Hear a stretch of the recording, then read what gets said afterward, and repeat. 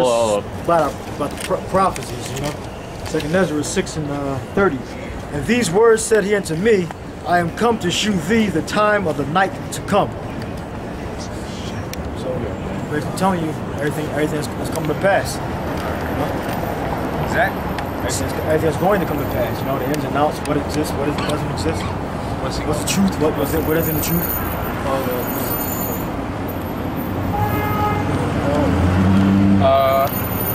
actually, what I wanted to get into is uh, basically who's bringing the fire, like into the chariots. I'm gonna get into the chariots.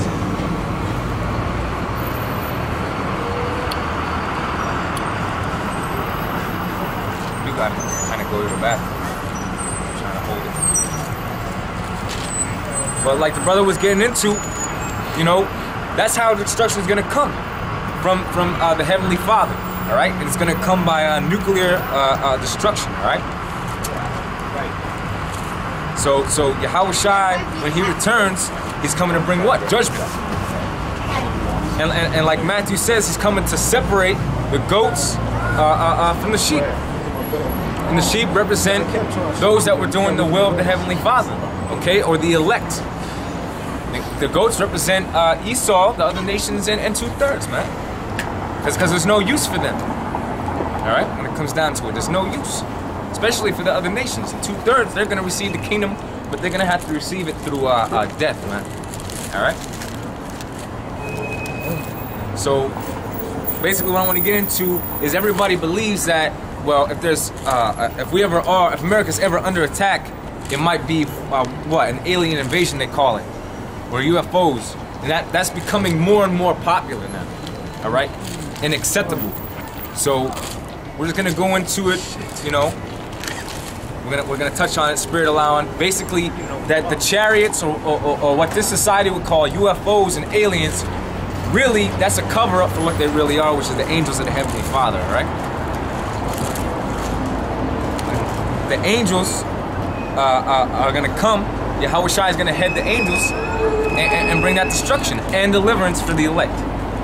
So I just want to get into that. You know, So Zach-. Zechariah 5 and 1. So then I turned and lifted up my eyes and looked, and behold, a flying robe.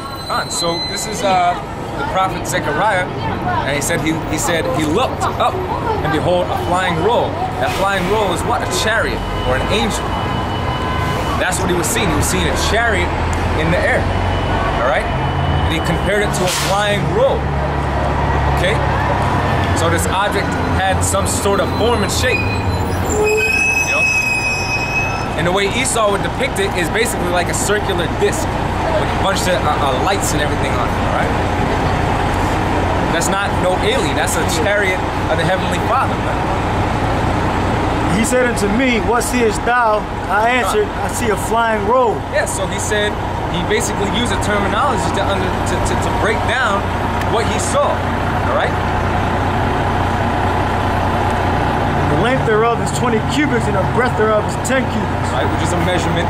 Then said he unto me, This is the curse that goeth forth over the face of the whole earth. For everyone that stealeth shall be cut off, as on this side, according to it, and everyone that sweareth shall be cut off, as on that side, according to it. Hun, now here's the thing: the Lord always bring talks about how He's gonna bring the plagues, bring the plagues. All right, which we can get into that too, because that's what the angels are gonna do. Also bring them plagues, which is the main plague is fire, but it mentioned the curse. Now, when you actually look at the word curse in the etymology, it goes back to the word curse. I believe the word is is plaga, which actually goes back to the word curse, but it said that this is the curse that go forth over the face of the earth. Why? Because they're gonna bring the nuclear missiles. All right, that that same flying roll that Zechariah saw is an example of what we're gonna see uh, right before we, we're beamed up into the chariots and receive our salvation. Yeah. It's at Zechariah 6. It said everyone that's stealing. Okay, so that that's that that represents who Esau. Because Esau stole everything he got and uses his military might to do it. That's why also we didn't get to hit the scripture, but the Lord said that He was going to make America small amongst the heathen. He's going to put the spirit on these other nations to turn against America and send their fire But that's going to be on the will and command of Yahweh, Yahweh Bashim Yahweh Shai. And at the same time, the angels are going to come and send their fire, all right, upon America, upon these other nations, while at the same time delivering the elect. All right? So Zechariah 6 and 1, this told you that the, uh, the flying roll, the chariots, they're actually uh, angels. Uh, Zechariah 6 and 1 says, And I lifted up my eyes and looked, and behold, there came four chariots from between two mountains. And the mountains were mountains of brass. And you know no mountains not made out of brass. Con. Mountains are a gigantic chariot. Con, like, and we can get into uh, Second Esdras, what's it, 13, where he tells about how he saw a mountain, basically. Okay, so so to back that brother up, we can get into that scripture, right? Go ahead, read. It says, uh, and the first chariot was red, and the second chariot black, and the third chariot white, and the fourth chariot bristled and bay horses. Then I answered and said unto the angel that talked with me, What are these? And the angel answered and said unto me, These are the four spirits of the heavens, These are the four spirits, the four angels in the heavens. which goeth forth from standing before the Lord of all the earth. So those are the chariots of the heavenly Father. There's, there's, a lot of times where you can look into the sky and see what appear, appears to be uh, uh, stars, and they change different colors: red, green. Some are uh, like a gold, like almost like a I don't want to say gold, but like a fireish color, like a red. You know? Yeah, it said it was red and blue. Huh? Exactly. So, you know. So those are some characteristics of the chariots, man. It's uh, Isaiah 31 and 5. So once you understand what, what the chariots are, what the, and what the clouds are, what that flying roll is, then we can explain to you what they're coming to do. The two two main things is deliver the elect and destroy the wicked, whether it be the two thirds and the other nations. Isaiah 31 and 5. As birds flying, so will the Lord of hosts defend Jerusalem. Yeah, read that again. At Isaiah 31 and 5. As birds flying, so will the Lord of hosts defend Jerusalem. Yeah, so will the Lord of hosts. That's now. It says as birds flying. So one of the we read to you in uh, what was you what you just read Ezekiel right? or, or Zech- Zechariah six. Zechariah. Excuse me, Zechariah six. We read to you them characteristics. Now another characteristic, all right, is that they had the ability to fly. All right. That don't mean that the, the angels got bird wings coming out their back. All right. It just means that they have the ability to fly, like birds have the ability to fly.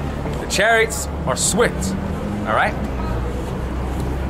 And it says, as as what? As birds flying what? As birds flying, so will the Lord of hosts So will the Lord, okay, Yahweh Shai, uh, and then it says of hosts, which are the uh, other angels. Go ahead. defend Jerusalem. Defend Jerusalem. Defend what? Defend the elect. Defend Israel. Defending also, he will deliver it. Get beamed up. Con. Yep. And passing over, he will preserve it. Yep.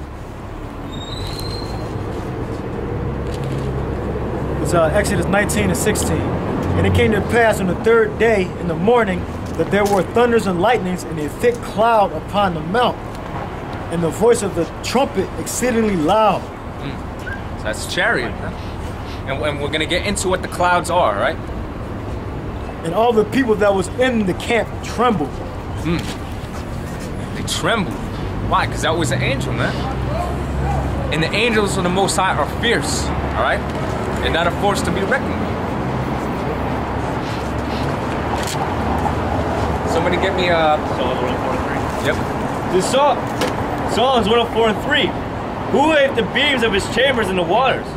Who maketh the clouds his chariots? Who walketh upon the wings of the wind?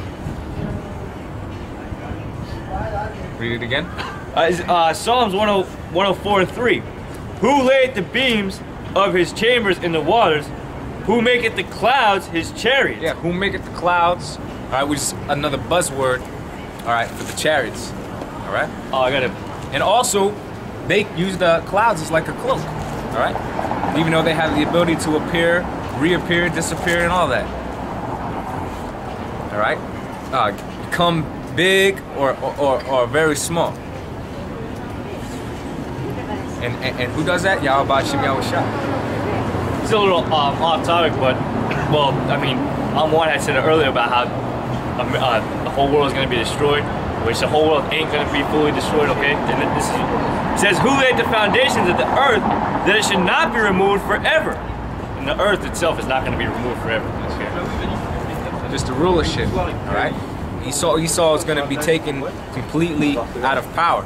You said you, just- you just read something about the beams. Lord, they, you know what the beams. Yeah, it's uh, Psalms 104 and 3. It says, "Who made the beams of his chambers in the waters?" Yeah, it goes hand in hand. I'm about to read. Go read that again. This is uh, Psalms 104 and 3. Who laid the beam of his chambers in the waters, who maketh the clouds his chariots, who walketh upon the wings of the wind. It's uh, Exodus 19 and uh, Slacken, Exodus 24 and 15. And Moses went up into the mount, and the cloud covered the mount. And the glory of the Lord abode upon Mount Sinai, and a cloud covered it six days. And the seventh day he called unto Moses out of the midst of the cloud.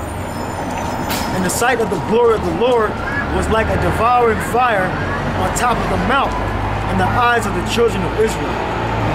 That's, that's beautiful. That's beautiful. That links right up with uh, Zechariah the 13th chapter. Okay, where it talks about when he spoke, he spoke with fire. Roughly paraphrasing. All right.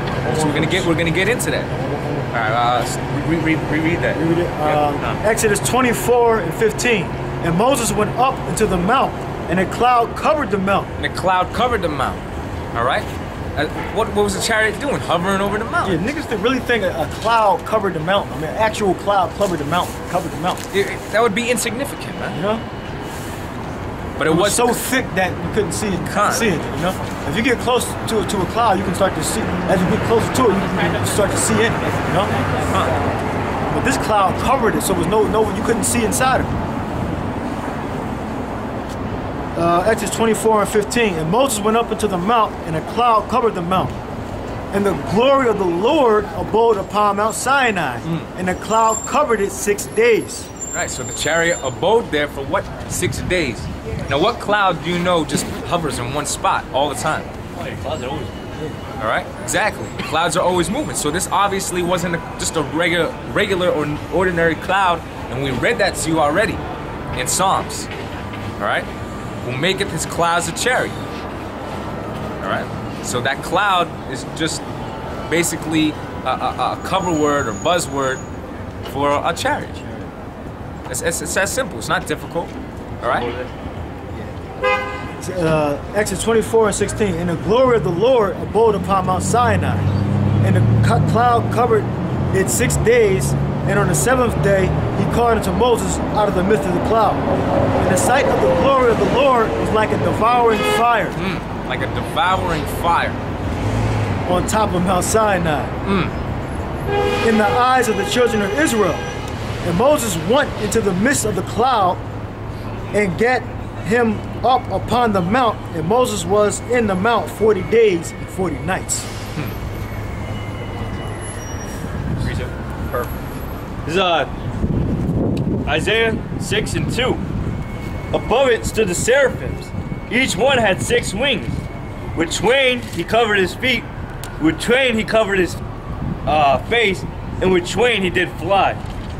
Come on, another chariot scripture. Read that again. It's Isaiah 6 and 2. Above it, it says, above the above it stood the seraphims. Each one had six wings. With twain he covered his face, and with twain he covered his feet, and with twain he did fly. On. And that word twain is two, alright? And say and with read that last part and he did what? And he did fly. Read up a little little bit.